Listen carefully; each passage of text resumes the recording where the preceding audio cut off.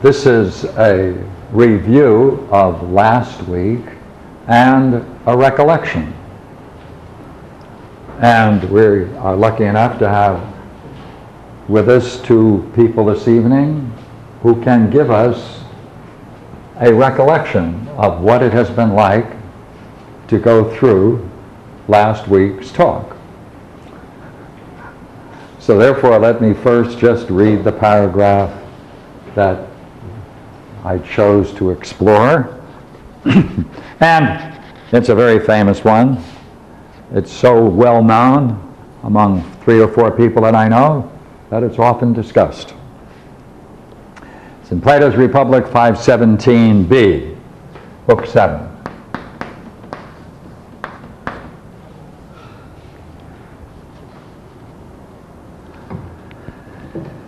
Then we must apply this image, my dear Glaucon, says Socrates after going through the allegory of the cave in the upper world, to all we've been saying. The world of our sight is like the habitation in prison. The firelight here to the sunlight here. The ascent and the view of the upper world is the rising of the soul into the world of mind.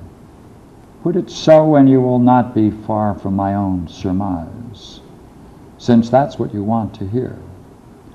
But God knows if it is really true. At last, what appears to me is that in the world of the known, the last of all is the idea of the good.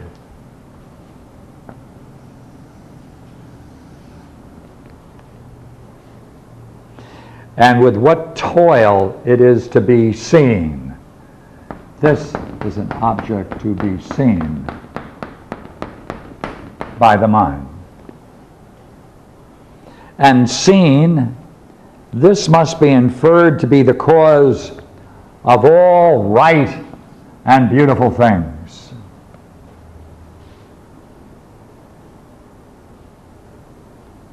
Which gives birth, which gives birth, source, give birth to the sun in the visible world and to sunlight.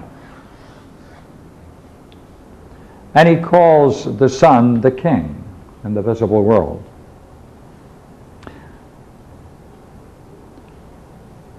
And seeing this must be inferred to be the cause of all right and beautiful things for all, which gives light, pardon me, which gives birth to light and the king of light in the world of sight. And in the world of mind,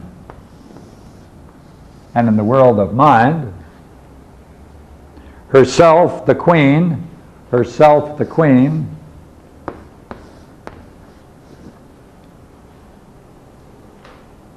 produces truth and nous, or reason, as our translator calls it.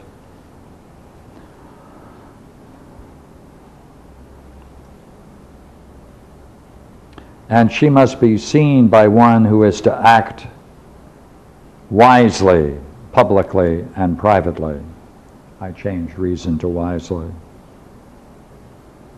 and she must be seen by one who is to act wisely both publicly and privately.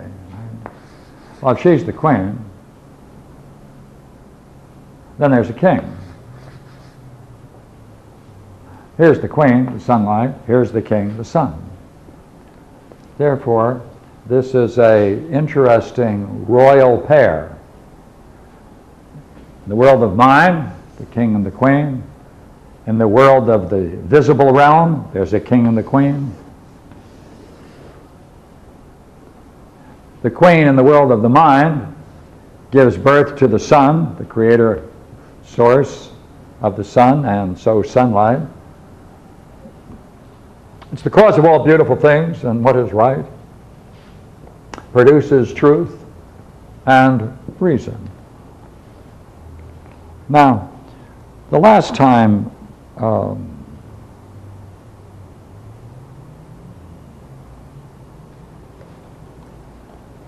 this is also the highest object of knowledge, the last of all, the highest object of knowledge. And last week we talked about this being when one gains a vision of it. This is uh, a bliss. This is a pure, sometimes called the perfection of beauty.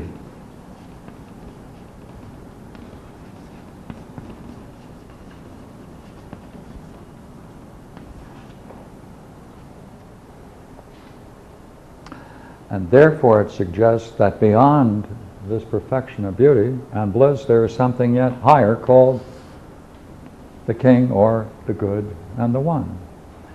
And we mentioned in many talks, just mention it briefly, the whole object of Book 7, when the arts are, are brought together into a unity and their kinship and community is seen one to the other, then you can enter into the game called the dialectic. And the dialectic is to how to grasp in some way the transition from here to here. That's the whole goal of the dialectic. That means leaving this. And so we also read one or two quotes just to give you one more touch to bring you back to it.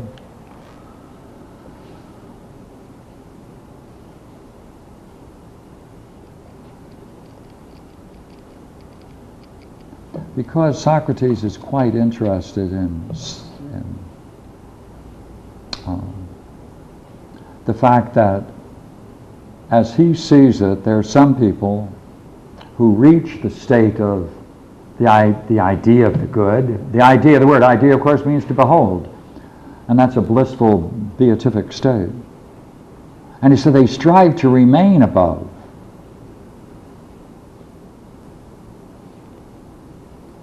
And he says he doesn't think that that's proper and they should be brought down and returned to the world of men.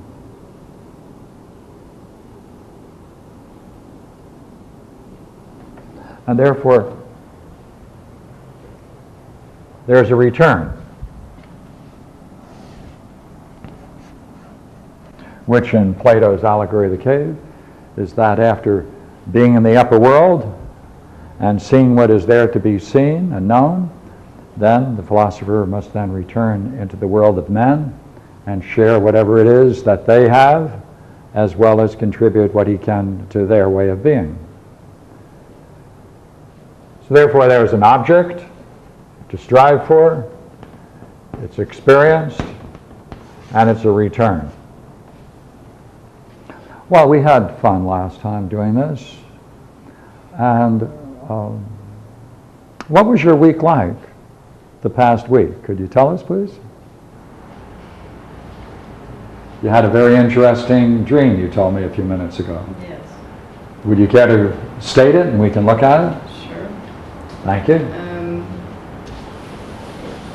it was the night of last class. Um, went home, went to bed. Uh, had trouble falling asleep because my mind wouldn't stop working on this problem. And um,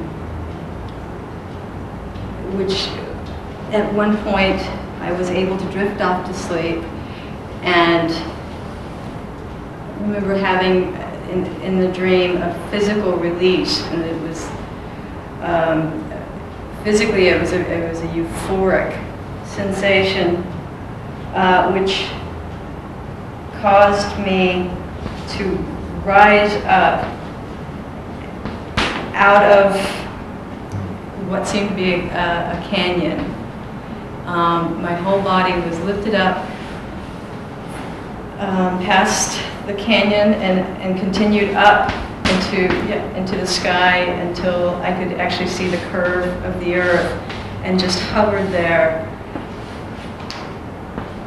with this, this amazing sensation uh, and being able to look down and see with, with a, a clarity and perspective from, from being above.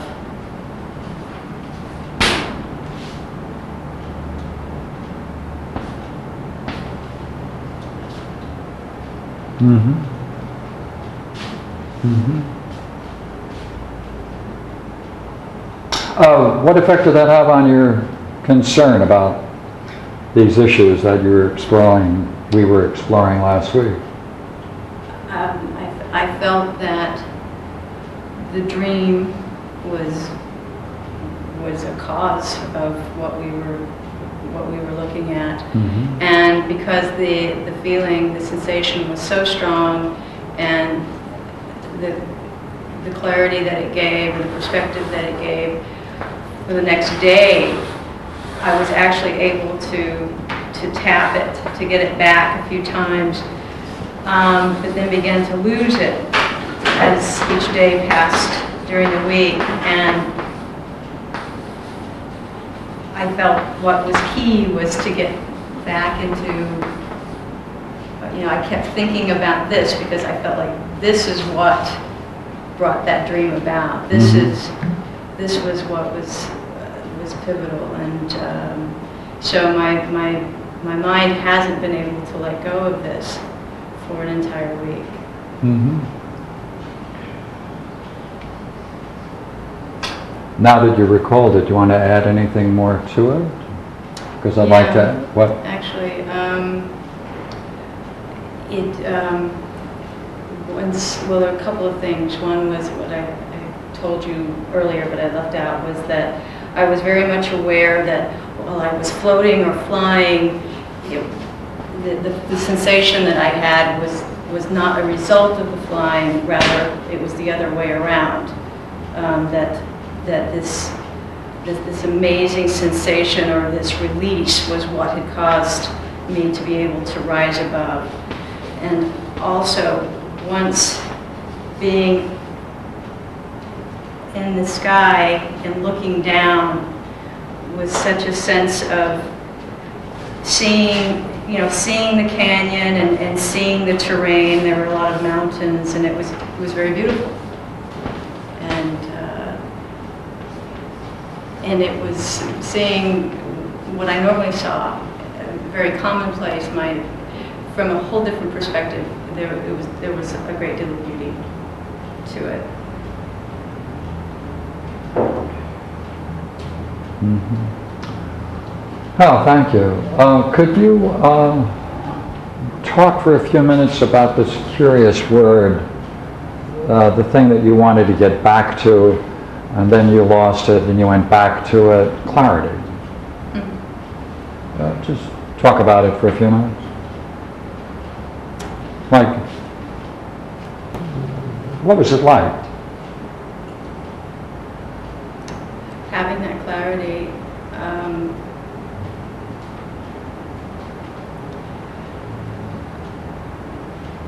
just a wholeness, um, Wholeness? and I, and not being, a- not going back to it. There was something about that wholeness and that clarity, I felt like it would always be there to get back to. Mm-hmm. So there wasn't a, a sense of, of rush or a need to hold on to it so much.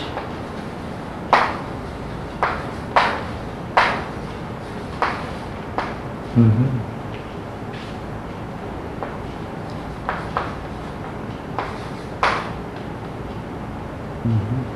That, that it would be there and I would be able to find my way back to it.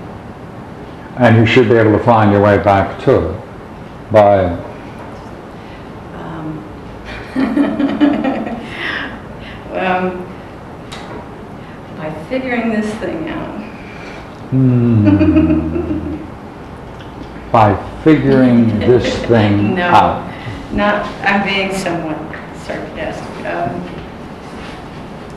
That was, that was what was, that was what caused the dream to occur. I stopped trying to figure it out. It was, it wasn't coming through an intellectual Mm-hmm. endeavor.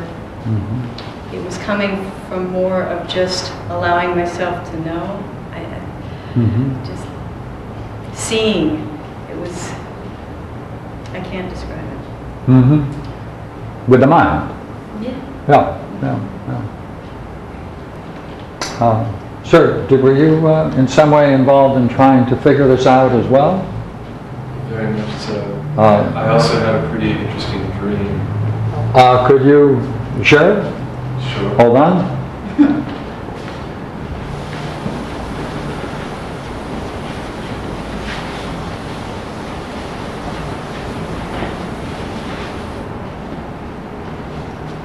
Uh, you were actually in this dream, Mm-hmm. but you were a younger man. And I had gone back to some school where I had I had graduated and I was now going back to just kind of reconnect with everything that had ever happened to me through all the years until I had graduated. Mm-hmm. So I went into the I went into the school and I went into a classroom and it was you were there. And I handed you all of my school transcripts and you sat down and looked at all of them. And I was just kind of standing waiting. And you said, well, I see that you had a, quite a number of failures. Mm-hmm. And you said, but I'm sure that there were good reasons for that. Mm-hmm. And I, I said, well, no, no, no, they were honest failures. I just. Uh, hold it. I didn't get that last part. I, I said, well, I, I don't know if there were good reasons. They were gen, they were honest failures. They were what? They were honest failures. They were on a, Honest failures. They were genuine failures that I had. they were genuine favored failures. Well- Okay? They- Well, going. That, that's okay, I just want to make sure I get the words. Well, They were genuine failures. Yeah. So, Mhm. yeah, I was just really owning that they had been my failures. You were, You seemed a lot lighter about it. I wanted to kind of say, no, these were my failures. So what would you say you were doing in this statement then? They were genuine failures. It felt like a little like an old pattern to me. It felt like I was caught in something that really wasn't important in you, and it wasn't important to you, but I was trying to, almost like the sense of guilt or shame, that kind of stuff. It seemed like we were reviewing my whole life here in this, in a school or something. And I was planning, Yeah, I was planning to see other people who had graduated mhm.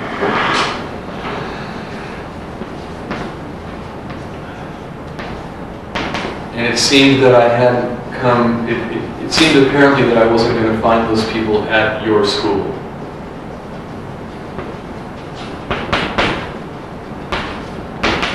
And you said that, you said, well, I don't think these people will be here.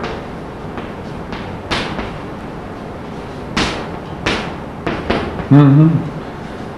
So I was going to leave to go on to a di- another, a different school and see if they would be at this other school.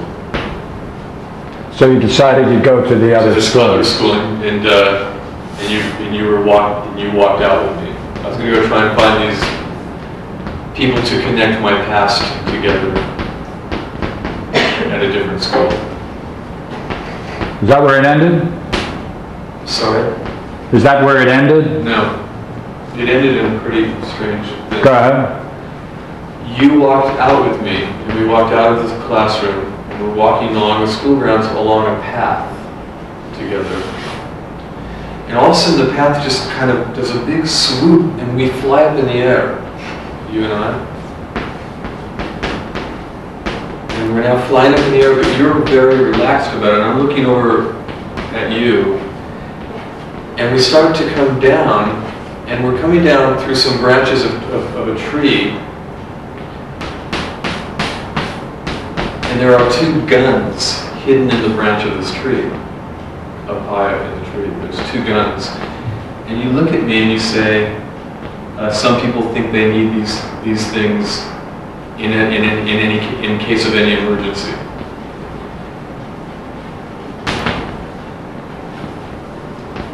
And I see the two guns, and we're, now we're kind of falling back down to earth.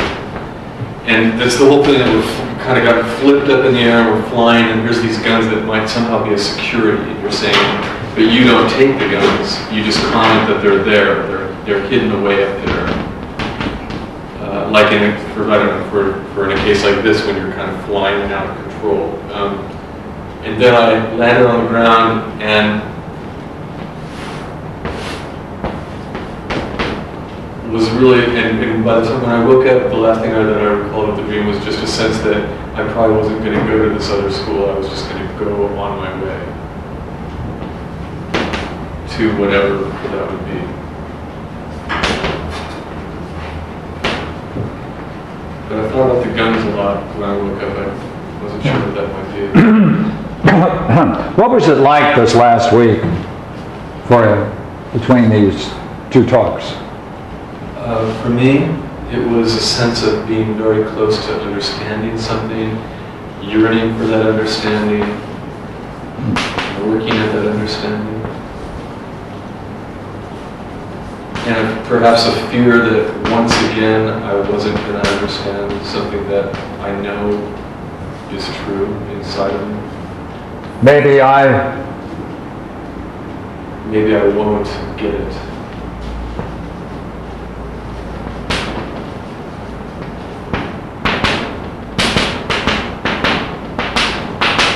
That it's the most important thing in my life right now. Mm-hmm. Uh, you mentioned in the dream that the uh, person in the dream was relaxed. How were you in that flight? I was feeling all the kind of that kind of nervous stomach feeling when you're flying, sort of a feeling like wow, it came out of nowhere. All of a sudden we were just whoop, you know, walking down a path, and all of a sudden boom, we're way flying up in the air, kind of out of control. Mm-hmm. So I was sort of trying to get a handle on the whole thing Mm-hmm. in general. Mm-hmm. Mm-hmm. Well, each of these dreams are very obviously profound. And uh, let me go back to this one first. Um,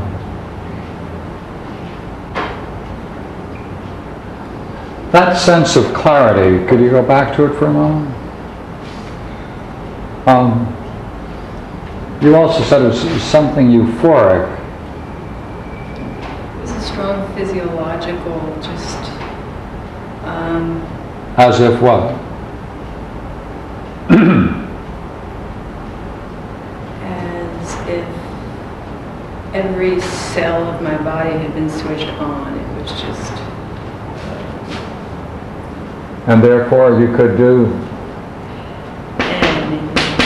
hmm? anything. anything. Fly, you name it. It was, there was a very sense of, of that kind of certainty.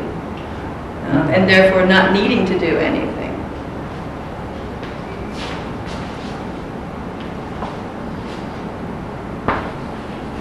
Go ahead. That's it.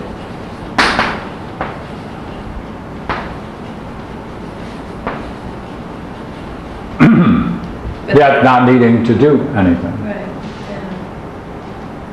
But that, that, that was there, that the power to, to, to do anything.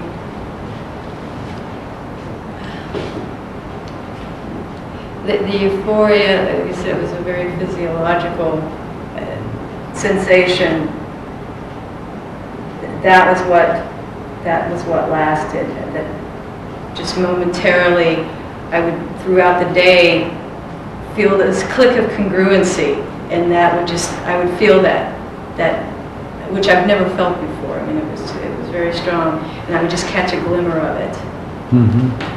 and think, Mhm. there it is. That's, I need to go zero in on that moment, that, right now, to get it. Yet there was no need to hold on to it. Right? Yeah. It was always, and it will always be there. Right, Remember that? Um, what- Did you notice at these times when you were trying to get back to it, or did to some degree back to it, what it was you let, you had to do, or you did? Uh, By heavens, it's the same question as here in the cavern. Um, You mentioned before what happened to you in the cave, in the cavern, canyon way. What was it again? What, the release? Yes. Uh-huh. All right. Could you compare that state with this?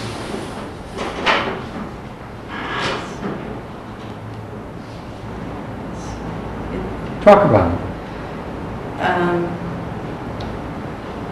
the moments where throughout the day where I would, I would start to feel it, it would be a letting go within that second, that moment. And that, that that is where that lies, that feeling, that sensation.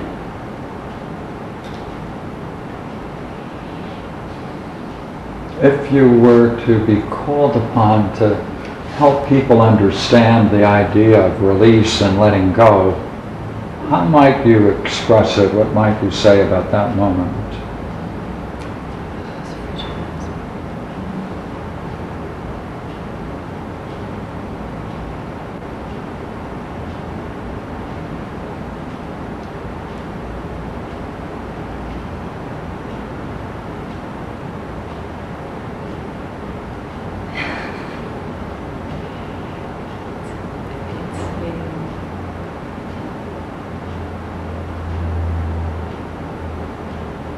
It's a letting go of time. It's just, it was just past this. I, I'm not Okay. good at describing. I've noticed that when you're talking, you're doing, it's as if you're doing something also in front of your face or to your face. Let me ask you in another way. All right? This letting go, Yes. uh, did you notice that it was centered in the face? No, I didn't notice that. When you're letting go, was there a relaxation that took place? My entire body. The entire body, Yes. all right, including the face? Yes. I don't know. Because as you described it a few minutes ago, you're, it's in front of your face, you're making this motion. And that's why I was asking. Interesting. Yeah, good. Uh, okay. And I'll tell you why I say that. Okay. Because very often, a great deal of our attention is rooted in our face. That's our persona, our mask. That's the way we appear. People look at our face, not our hands. Right. So therefore, in wanting to appear in one way or the other, to whatever degree, right, the musculature of the face tensifies in certain areas. And a letting go often can be felt there. Right? Ah, relaxing. Yeah. I get it in jaw. Yeah, jaw. My jaw has been very sore this week, as a matter of fact, too, and I've noticed that. Hmm. Which, well, you see, you're trying to get it back, you lose it, you try to get back, so you're doing something. Right? You're trying to get back to letting go, that release, because that's what brought you to float upward, that gave you the clarity, and that's what you would like to return to. It- Now, it's real fun to talk about what it's like to be here, looking at the whole earth, and to be engaged in the beauty that one sees from such heights, and that's all good. But that's what you want to study. The release, see, the release. Because you know that's the doorway into clarity. Now, I'm going to move away from that, but first I'd like you to uh, see whether you can give me something else about the clarity. If you had to say it was like something, what would you say it's like?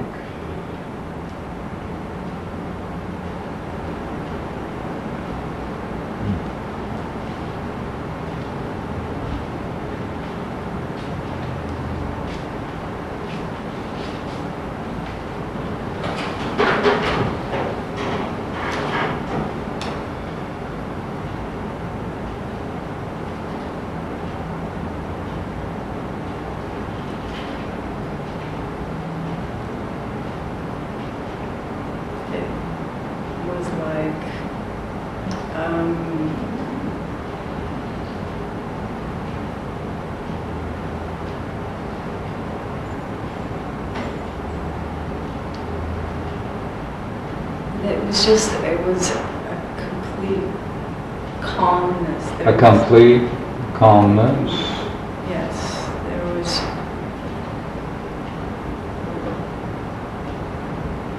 No need for any type of, of worry. Everything, everything made sense. It just. Mhm. Just the way it was. Just the way it was. Just the way it was.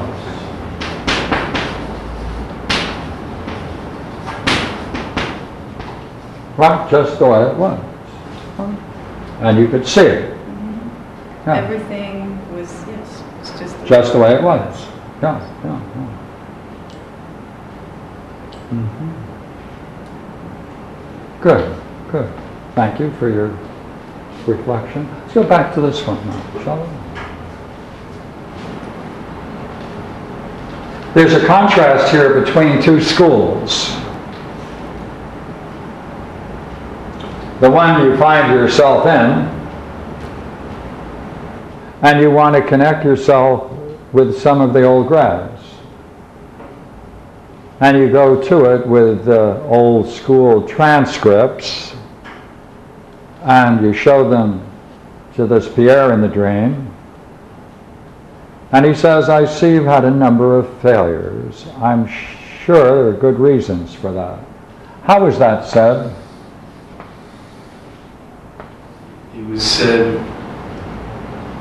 I'm real clear about this, it was said with a very deep sense of understanding. Like you saw through all of it and understood more about what might, might entail someone's failure Mm-hmm. versus just an F on the paper. Mm-hmm. It was almost like you said, it was a kind of warm sense of humor or something. One what? There was almost a kind of warmth and humor in the way he said it. Mm, mm, mm, mm. It was like you saw something I couldn't see about that failure. Yes, yes, yes. But you did see a certain kind of understanding. So Uh, you called it absolutely. Uh, talk about it in the, in the dream. What was that like, seeing that? seeing the understanding that I saw in you as this teacher in the dream, or do you mean, or Mm-hmm.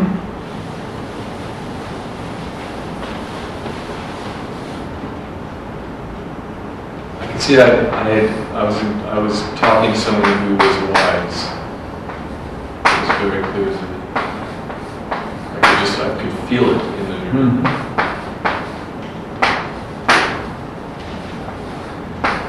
And I want a kind of, I, my sense was, what am I holding on to here? Mm-hmm. Kind of what am I doing here?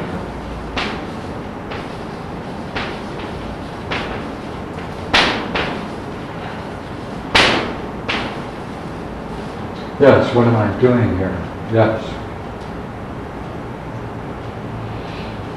Now, what would you say that means in respect to what was just said and what you saw? What I saw was my own, perhaps, lack of understanding or wisdom. But you saw this person had a certain kind of Yes. understanding, which you found, which I felt a great connection towards and attraction towards. ah. So, in seeing this, you're also attracted to that, right? You're attracted to that understanding. Yes. Right. Mhm.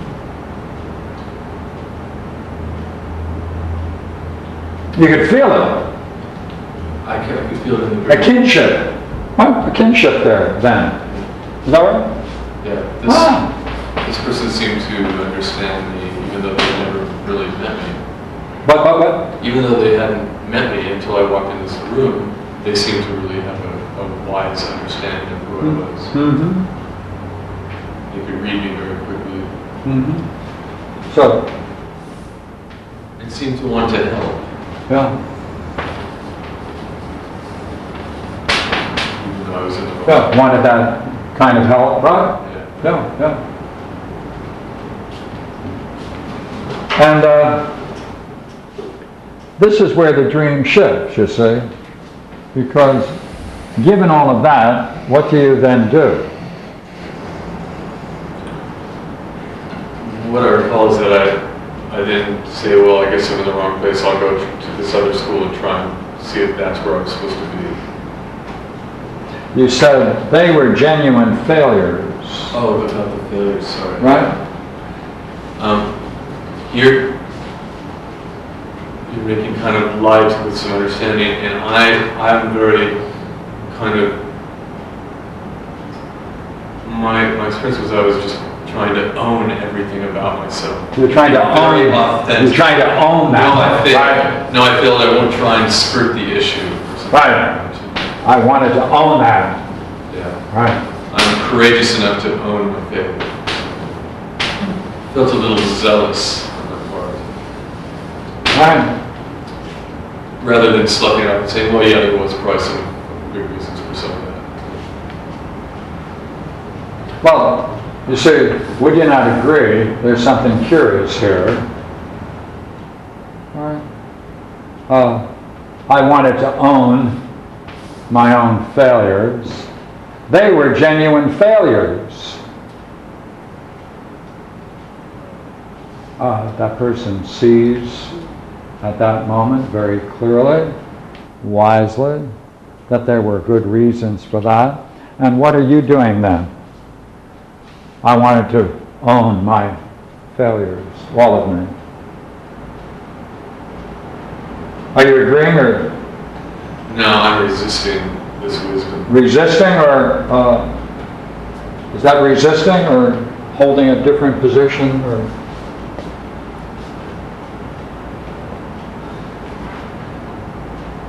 My sense is I'm just being very terribly hard on myself. Pardon me? I'm just being terribly hard on myself. You're being terribly hard on yourself. Right? With the guise of being tremendously honest. At the same time, when someone is being, say it again? Uh, and my manner of doing that is, is this kind of ultra forthrightness that I think Yeah. is, going, Uh-huh. is somehow proving that I'm very honest. Yeah, that's called, in a way, being honest. I won't run from my failure. Right, this is in some sense called honest. Yeah. But again, this honesty is not the same as this. Not at all, no. After I said all that, I can still see that the person was very wise and just kind of understood. So you're seeing the wisdom in what they're saying, but you're holding a different position Yeah. and you're holding on to it. Yes. Ah, ah.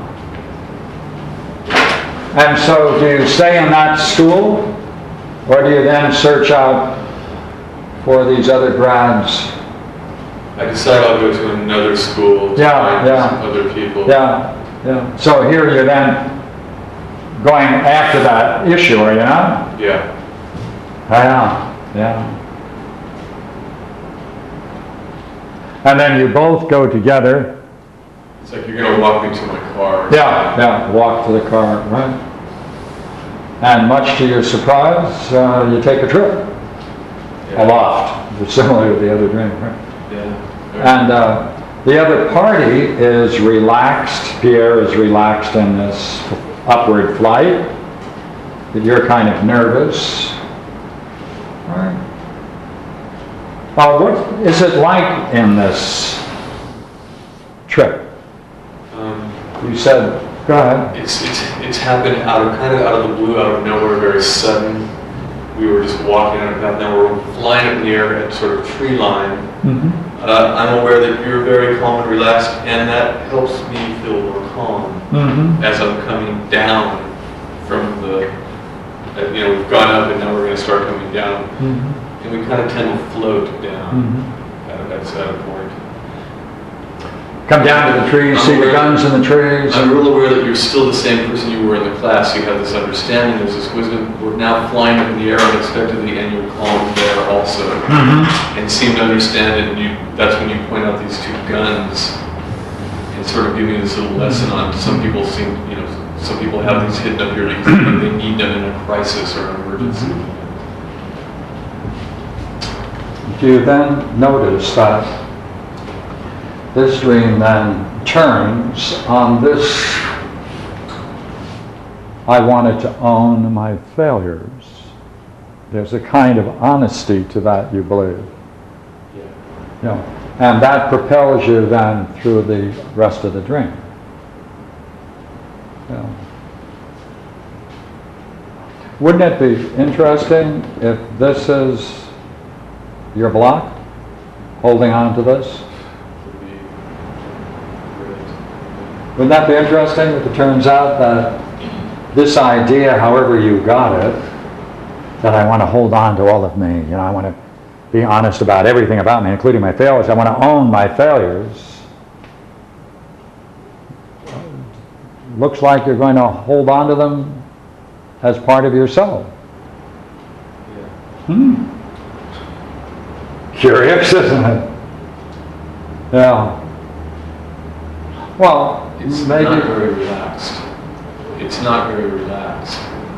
Yeah, but it is, it might be a direction to focus on this and find out where this came from. Because from this, you then feel, right, I'm being terribly hard on myself. They go together, don't they? Yes. Uh, because of this, then you're looking for the other school and leave the other one. Yeah, yeah. Curious, isn't? Well, I thought we'd just look at those dreams for a few minutes before we go back to the issues that we were on. Do you just, Yeah, do you want to add more to it? no, do you just have any thought about the two guns in the trees? The two, gro- yeah, yeah, two yes, the two guns in the tree. Okay. They're there for security reasons, they're hidden. Right. Some people think they need them. Some people think they need these things. There they are. But there's no need either on your part or on my part in the dream. And therefore you go through that. You don't need what then? What don't you need? I need this, You don't need that security. You don't need it anymore. And now you're back on the earth. That's very interesting? Yeah. Well, let's see then if we can go back to this other curious problem we inherited from last week and see whether or not we might even be able to work some of this into it naturally, hopefully. That hopefully that it's natural.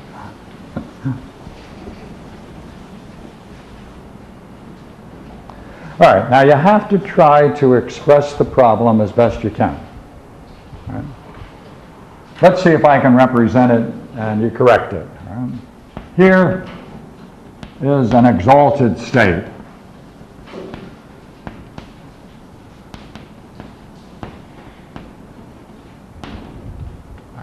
There it is. We're calling it the perfection of beauty. Beauty itself. Right?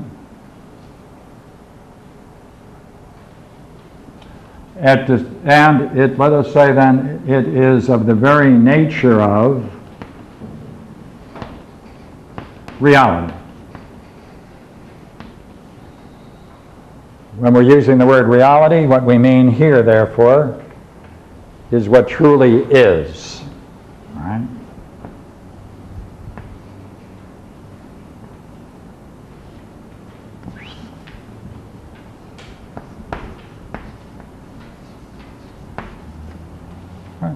The nature of what truly is with a capital I. It has a vividness.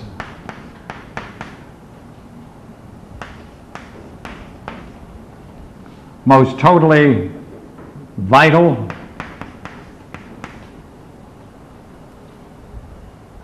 and it's very clearly of the nature of mind or consciousness. That is to say, we can then express it as this is something we can call being, right? Life or vitality.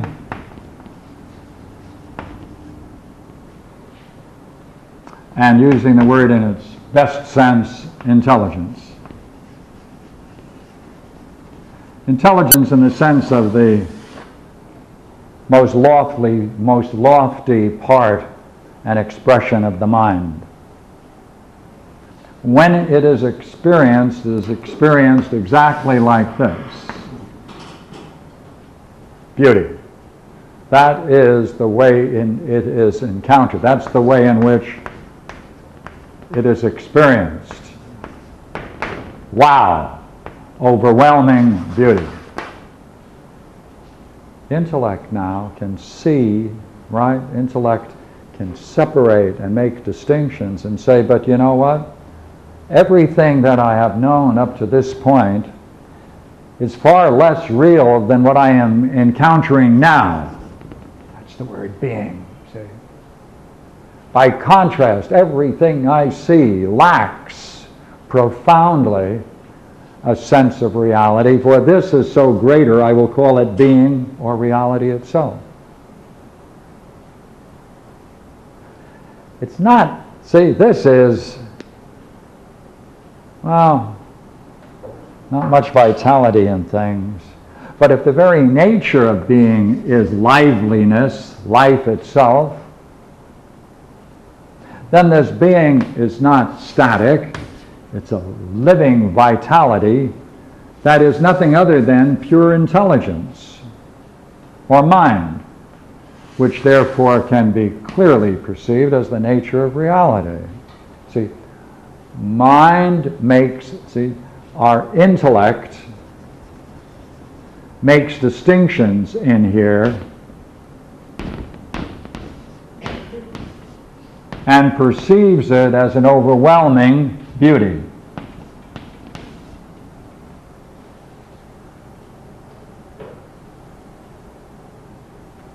Now, that means one, two, three, four are in some interesting way a unity, a oneness.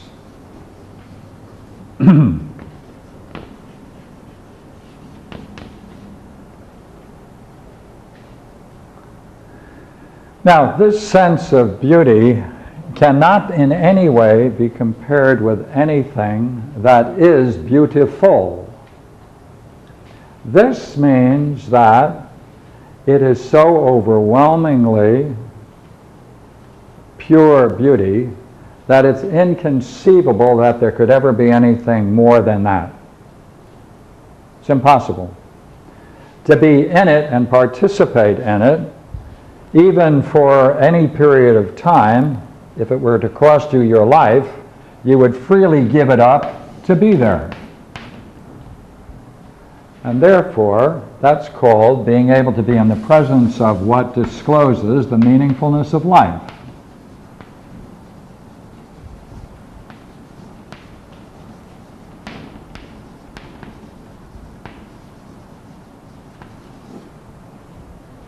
In that overwhelming experience.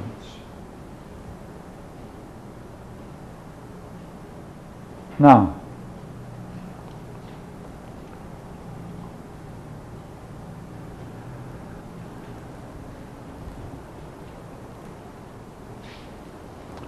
Let me ask you a question, curious question. Um, what does ness mean when it's added to a word, suffix? It means the quality of something, isn't it? Like goodness, the quality of good. So therefore, would you not agree uh, this is not the one, but it, whatever the one is, it must be prior to this, for this is the quality of one.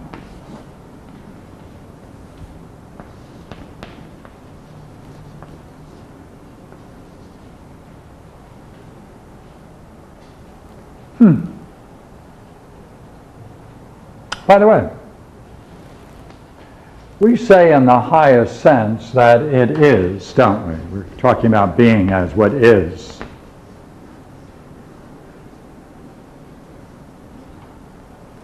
But when we say that something is, we say it has existence, don't we? Right? It has being. It has vitality. It has intelligence.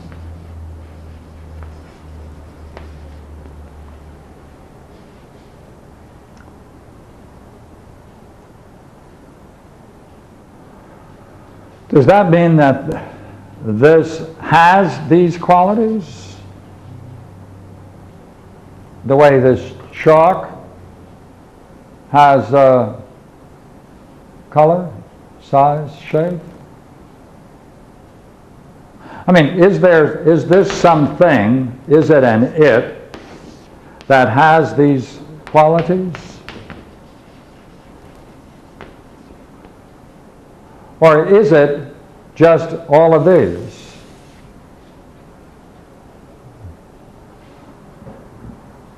Because if it has these, then there's something that must stand apart from this, and these are just its clothes, its appearance, its qualities. But if we say, no, no, no, no, no, no, no, no, no, no, this is must, this is what it must be. This is what it truly, that's, that's it. That's what it is. Then we're not saying there is something behind it, as it were, that has this. But these are the qualities or the way in which it can be described. Let's call these the, dis- the necessary description of it. Hmm.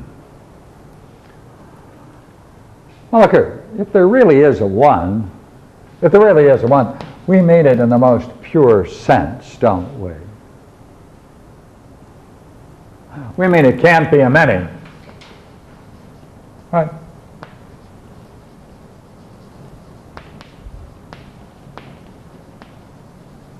It cannot be a many. but wouldn't you agree if this is a unity or a oneness, we can make these distinctions within it. And therefore, it's not a one, but a many. It's a one manyness. It's a one that has a manyness. So it's not the one. Now, sometimes we talk about the one with another name, the good. The reason we talk about the same thing with two names is because anybody who captures, guesses, gets a hint at, there's another part of us that wants to pursue what's good. And there must be, therefore, something that is good that makes all the things that are good good, the highest good. Now, by a very interesting steps of reasoning, we can show that the idea of the one and the good are the same. But before we do that, let's just take the one for a moment. If the one can't be a many, then this can't be a one, for it's a oneness. And take it the other way. If the one is, then we're adding existence to the one, and that would make it two. That would be to say, there is something, the one. Now, you know what? It exists. Existence, therefore, qualifies it. the one can't be said to exist. Could it be said to uh, have mind? No, for the same reason, would then mean it's something that has mind. But if it is mind, if it is mind or intelligence, is mind one or is mind a unity and we can make distinctions within it? Knowledge, understanding, right? Belief, image thinking. Well, those are a unity, a oneness. So, mind, if we mean by mind those things, obviously it can't be a one either. Hmm. But look here. If this one can be known, if it can be known, would you not agree by necessity there has to be, if, it's, if it can be known, there must be a way of knowing. And if it can be known, there must be a knower. Well, therefore, it's one, two, three. Presupposes one, two, three. Therefore, it certainly can't be known. For knowledge presupposes this three structure, doesn't it? Huh. Well, wait a minute. Can it be understood? Would that mean the same thing? Can it be understood? That means there must be a process to get you to understand it. There must be an understander who understands it. One, two, three. Uh, could it be perceived? Could it be an object of perception? Uh oh. Perceiver, perceiving, perceived. One, two, three. One, we just have a one. Well, we mean by a one is a one. We don't want any three. So it can't be known, can't be understood, can't perceive it. Can it be an object of vision? But look here. An object of vision means that you can enter into it. You can experience it. It has a beginning, an onset. It may have a high point, or it may be continuous, the same, but it does have a coming out. Hey, wait a minute. Then if you have a vision of it, must have a beginning, middle, and end, duration, must have a duration, has a vision, then I imagine you're going to say there must be someone who is visioning it and a process of visioning to get it, and then this becomes the object of vision, well then, as massive and as brilliant, and this is called the most brilliant light of being, bliss as it is, is something you can go in and out of. And if you can go in and out of, has a point which you enter, point in which you leave it, has characteristics while you're in it, a unity, uh-oh, but with distinctions within it. That's a unity or a oneness. Hmm.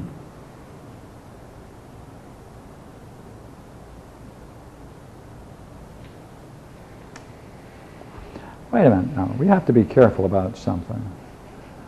Are we, do we think when we say the one that there really is something that we call the one? and give it a name, well, then there must be some boundaries, some way of distinguishing it from everything else. Well, that's just one of the things then that are. I mean, if there is something, and we're going to call it the one, then the one is different than what it is for the one is just the name of it. Well, then we have two things. We have what it is and the name, the one. Huh. And if it is a name, then it must be distinguished from all other names. And being distinguished from all other names, we can say it's one of the things that we can distinguish. and therefore in some way that must be. So if there really is a one, that can't be a many, well then you can't be talking about the one because you're talking about what you're naming. And therefore there must be the thing and the name. We don't want any two, we only want one. So if there really is a one, it can't be named. Well, one can be a many. Hmm? The one could be a many. If the one could be a many, like this is a many, right? If the one could be a many,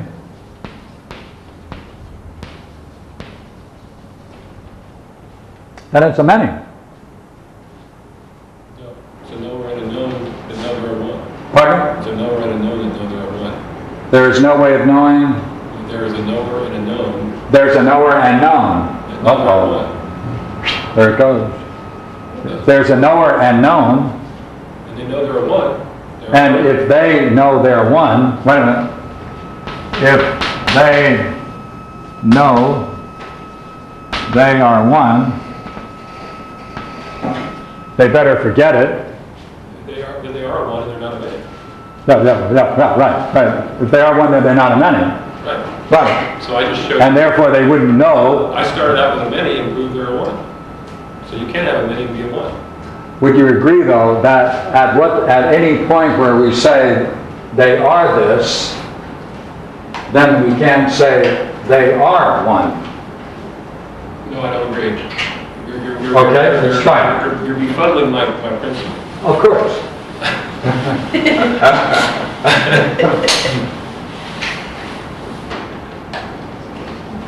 If each of these, right? If each of these, We know they are, and we know, let's call one a knower, let's call the other one known. know No, not a known. it. And this is what they know? Or what do they know?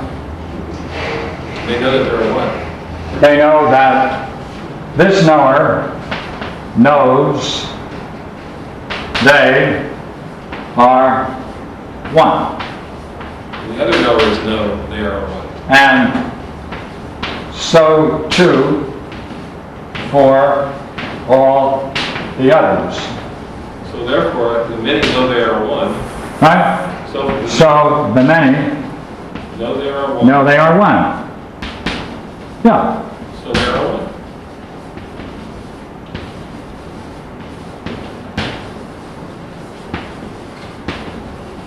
Mm-hmm. So you can't have a many and be a one. Well, just take a look now. Okay, by the way, um, do they know they are one? Sure. Watch now. Uh, when they know themselves as a they, do they know themselves as one? No, No, no, no. they know they are, they know they are a group as one. They know they're a group of ones. No, no, no, no, no, no. No, they know they are one. Okay, each one knows there is, they are a one. In other words, I am you and you are me, they know that. But, but see, if they know they are a one, then the one is in many. No, there are many. Yeah, of course they're many, but I totally There agree. But they just know that they're one.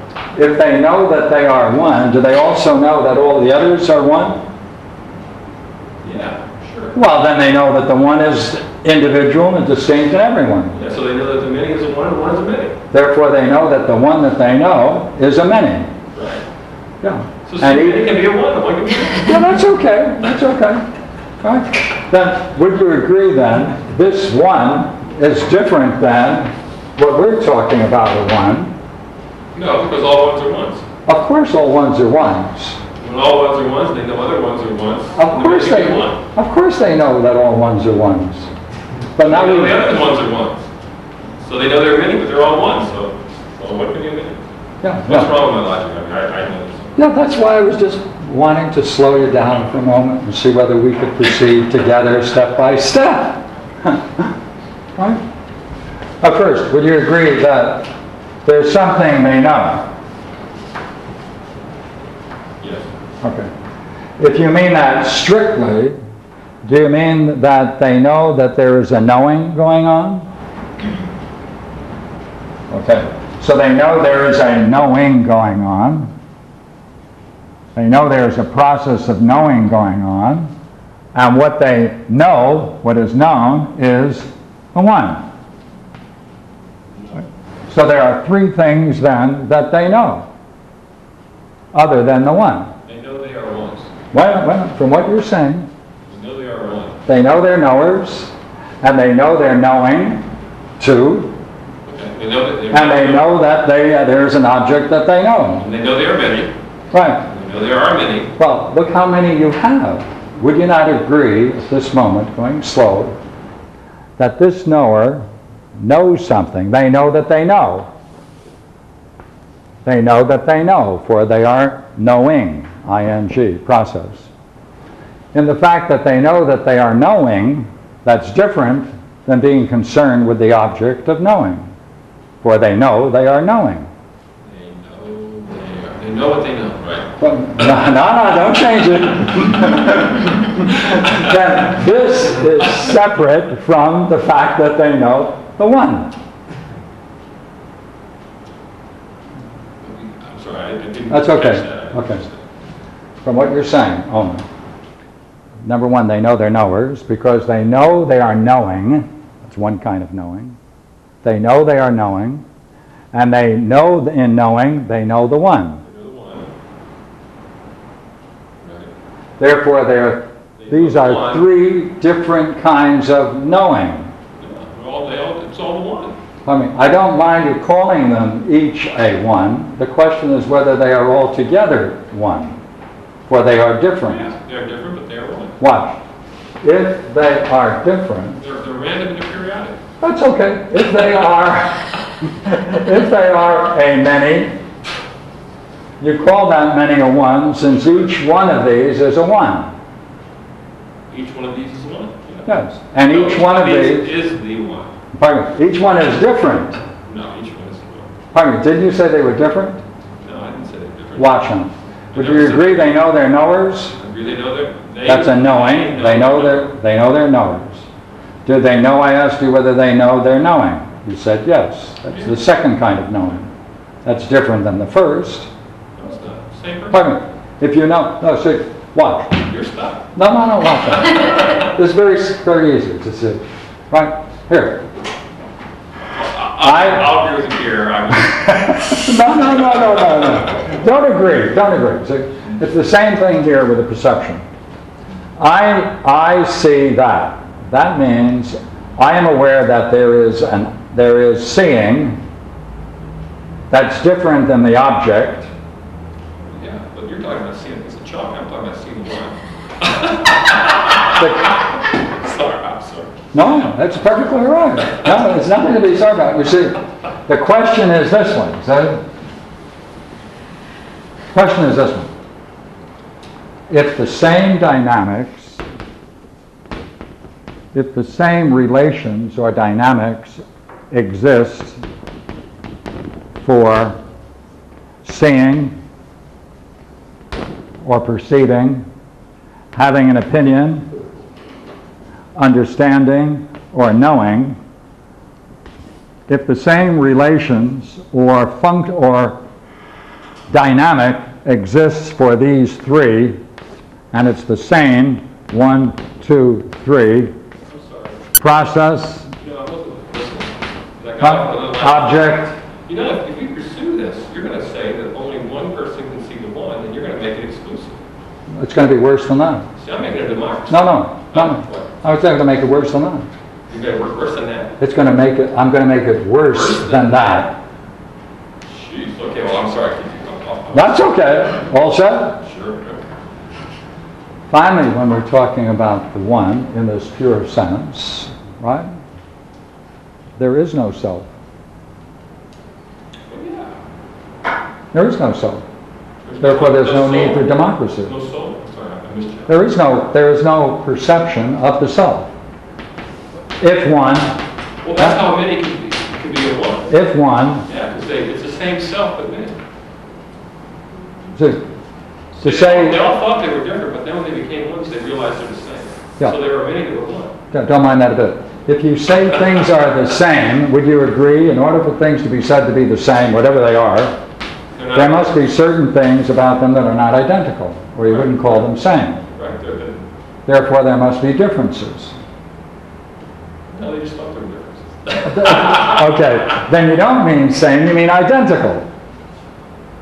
And we can deal with that too.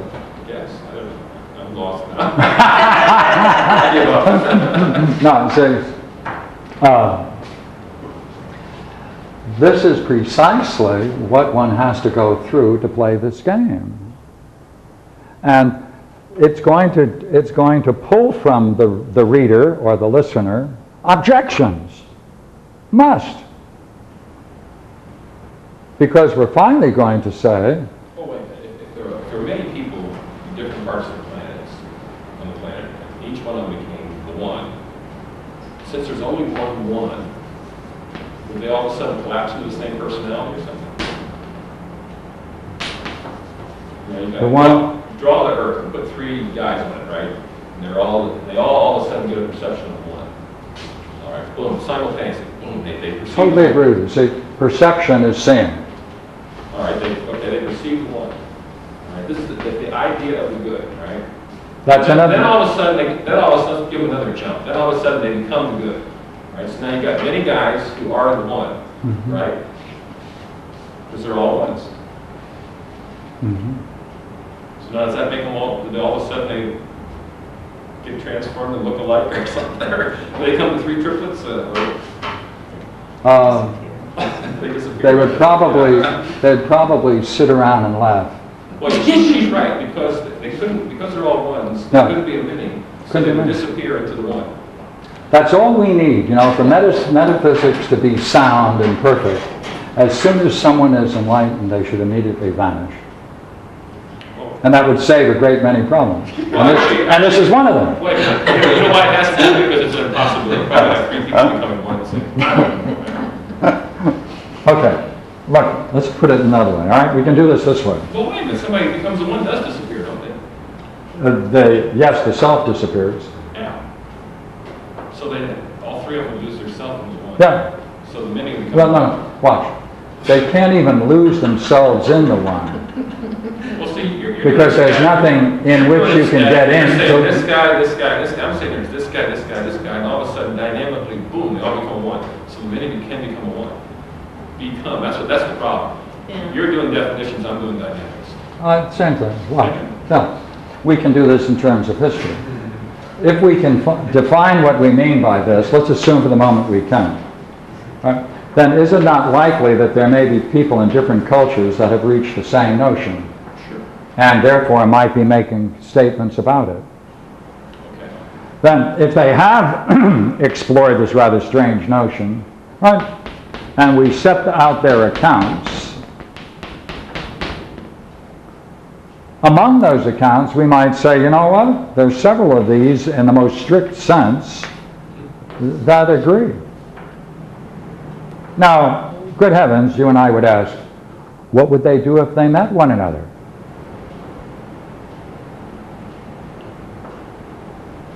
Would they lose themselves? What do you, what do you, what what do you got there? You got three guys who are the one, right? Who claim, who make the assertion, they make the claim. Let's, let's not get into the hocus pocus, let's say they are the one. Okay. They really are the one, you know, give them, give them some credit, they are the one, okay?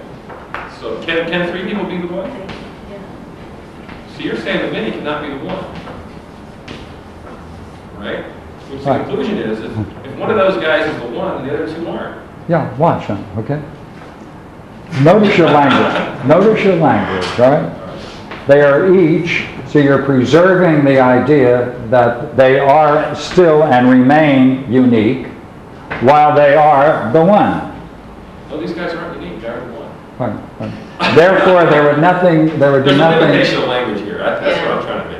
Yeah, I am too. Okay, okay. Yeah, so if you want to preserve the fact that each, each of them happens to be unique, and that's why you say, that's why you say each of them, No, see, then we get into this dichotomy again. If there is a one, yes, and this, if this search is worth searching, then, then each one of those people must have a chance of being the one, right? So let's just say all three of them become the one, right? Can there be, mm-hmm. can there be three ones walking about? You're, you're saying, no, many cannot be a one. That's right, Many cannot be. that's right. You'll not watch on it. But you're, I think the way you're arguing, let me see if I can help. So are they different Does, watch, does the one abandon itself to Become. appear in each? That's what you're Does facing. the one abandon itself? Yeah, if there is a pure one. No, it would just be in each one of them. Yeah, I know, but so hold this for a moment, hold this for a moment now, watch. Why don't we split the one up now? See, I don't understand the reason there. You're splitting, the- why would the one want to split itself up? it's Thank you. Therefore, it wouldn't. Ah, okay, now, And therefore, this could not appear. so therefore, all three guys, if they met, they turned into one, Okay, one entity or something. yeah, okay. They, at that point, they wouldn't know the difference. They couldn't see a boundary. Okay, They couldn't determine a boundary in terms of the clarity of their minds. so if they were in proximity of each other, they would be a one. No, and that would be a physical proximity. We're talking about the state of mind, aren't we? Okay, state of mind, all right. As far as the state of mind is concerned, each would be as clear as the other, with the utmost clarity and emptiness. But that clarity would be the one. Pardon me? That clarity is the one, That clarity is the one. is the one. Mm -hmm. So mentally, they are the same. Among, Okay, mentally, they're the same. yeah, yeah, yeah, yeah. yeah. See, now, let's go back to your idea of clarity. All right? Okay, just, just to push it?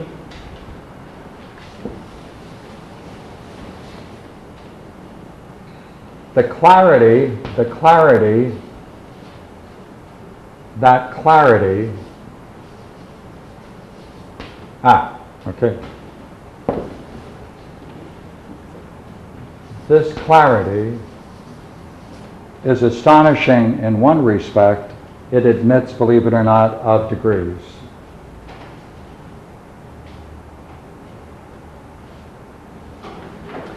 If you think about the Oxherding pictures, each one of those pictures is actually a different way of representing the perception of one. Now, in the description that you gave of the clarity, you used a very important expression that you could see things just the way they are.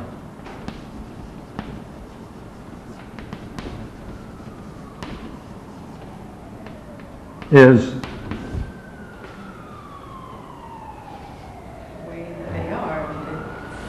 is just. just the way they are is. The way they are is just. Just the way they are is just the way they are.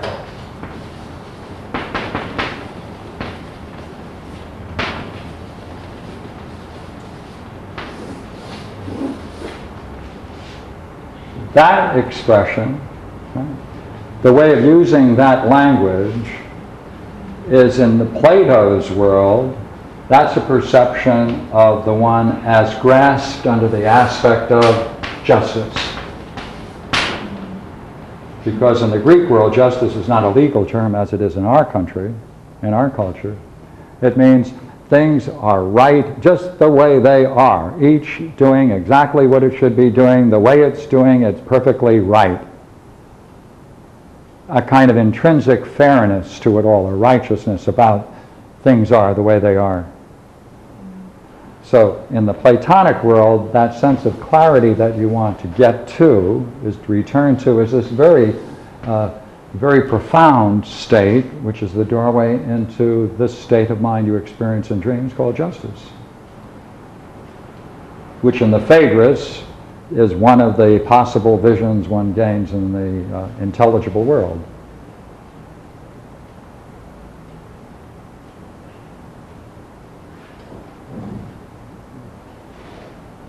So, uh, see, stay, let's stay with this idea of clarity. All right. In that sense of clarity, is there any sense of boundaries? Okay. Limitless, open, uh, vivid, clear, no obstructions, perfectly transparent, like the empty sky on a clear, fresh morning. That's where it's going, see. It is empty of what? Of all obstructions, of all distortions. It's not empty in that sense of nothingness. And therefore, this admits of greater and greater degrees of being just the way it is. Um, it is not that that is, that is equally experienced in that state that we call before the idea of the good, but that's being carried aloft by a sense of beauty and a blissful state that consciousness experiences. Um, yes, please. Well, Then, then what are, are we, the only thing that seems that we could say is that the one is unknowable. It is not an object of knowledge. That's different. See, if an object of knowledge always presupposes this three-part division, then the one must be beyond knowledge. Plato has a very interesting way of talking about the good, which later it's also called the one. Let me just uh, give you just one quick quote because uh, it's so interesting. Um,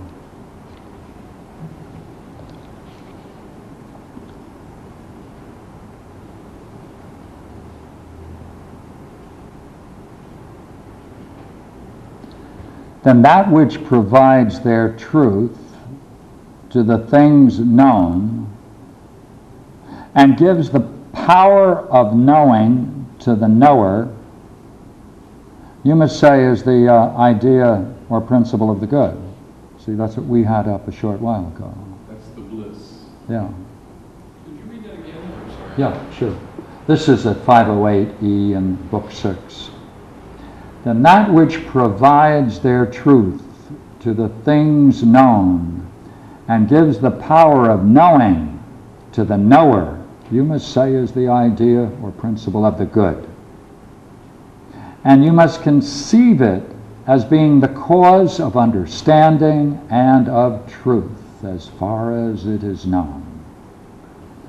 And thus, while knowledge and truth as we know them are both beautiful, you'll be right in thinking that it is something different, something still more beautiful than these. As for knowledge and truth, just as we said before, that it was right to consider light and sight to be sun-like, but wrong to think them to be the sun, so here it is right to consider both these to be good-like, but wrong to think either of them to be the good. The eternal nature of the good must be allowed a yet higher value. What infinite beauty you speak of, if it provides knowledge and truth and is above them itself in beauty, you surely don't mean that it's pleasure. Hush. But there is something more to consider about its likeness. What? Oh, the sun provides not only the power of being seen for things seen, but as I think you will agree, also their generation, their growth and nurture, although it itself is not generation. Of course not. Similarly, then, with things known, you will agree that the good is not only the cause of their being known, but the cause that knowledge exists and of the state of knowledge, although the good is not itself a state of knowledge, but something transcending it, far beyond it, both in dignity and in power. Right? So the good is far beyond it, both dignity and power. It's not an object of knowledge, but the cause of knowledge. So you invite the good? Pardon? To imbibe the good? Abide, yes, that's a good word. Imbibe. Imbibe, yeah, that's a good word. Yeah, uh, sometimes people call it, uh, uh, things just drop away and that's, and that's all you can say. That's a ne- negative way of putting it. Uh, Some thinkers put it in terms of, it's an, en- it's, one encounters. Meister Eckhart pulled it together and he said that uh, it's a Godhead. Because he said, you know, you can have the Trinity, Father, Son, and Holy Ghost. He said, but the Godhead is really that which binds them together into a unity. And beyond that unity, that's the Godhead. So he's doing the same thing. So many couldn't be a one. Many can. Many could imbibe the good, Yeah. many could not be a Yeah, yeah, right, right. So last, okay? It always comes back to this. So what must you do? In the Platonic world, both from, uh, especially from the good itself, there must be a return. Because with that comes a way of knowing and of seeing and understanding that benefits mankind. That's the return, going back down into the cave. And in terms of preference, in the Republic, when the philosopher comes back down into the cave to become, now he lives among them, uh, has to strain and get used to it once again. In terms of his own preference, he makes this statement, and he quotes Homer, and he says, You know, I'd much prefer to be the poorest slave to a landless lord than be master of all the dead that lie here. But it's thought, therefore, though, to be a duty to return, and to return with that sense to improve mankind's lot. In some sense, then, that echoes to the bodhisattva ideal in Buddhism. Only it's not a vow, it's a natural consequence.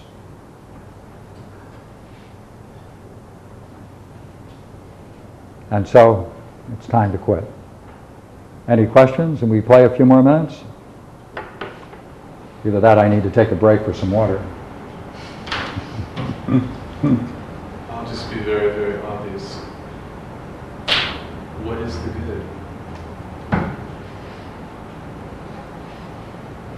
Or the one. Or the one the? And what we, what I introduced you to is in Book Seven, Plato's Republic. There's a dialectic then that must go from the idea of the good to the good itself. It's a negative. It's chopping away. It's chopping away all the assumptions that one might gain from the experience of the idea of the good, or the most brilliant light of being, or that blissful state that is encountered as the most brilliant light of being. Well, wait a minute, there's a problem here. Mm-hmm. Because if you can only imbibe the good, you can't imbibe the whole thing, you can't then, no matter what you're imbibing, it's never the good? If I'm imbibing, imbibing a little this is good, a little that is good, a little this is good, you'll never be imbibing the good. So why all these arguments about, Yes. you know, this is not the good, that's not the good? That's quite true.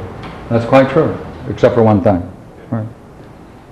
Um, the most remarkable thing about it is that those who uh, enter this right, always say the same thing. Oh my God, it's obvious. It's always been there. I didn't even have to search for it. I just had to drop whatever it is that was blocking my vision. And therefore, you're quite right, there's no need to search for it at all. Well, All we have to do is get rid of what's blocking it. It isn't any place we have to search to discover it. That's probably right in front of your face. Right, where can you, yeah, Most difficult thing to say. yeah, yeah, Uh, yeah. So, oh, okay, so in other words, these, they all say the same thing, it's, there's, a, there's a block. Yeah, and that's why in the Platonic world, the real object of study is ignorance, not knowledge or wisdom. You don't have to worry about that. That's what it is, that's where it is. You really have to discover your blocks, what's holding you back, what's tying you up, what's preventing the release. That's the most interesting object of study. So, I really appreciate your help this evening. Right, thank you very much.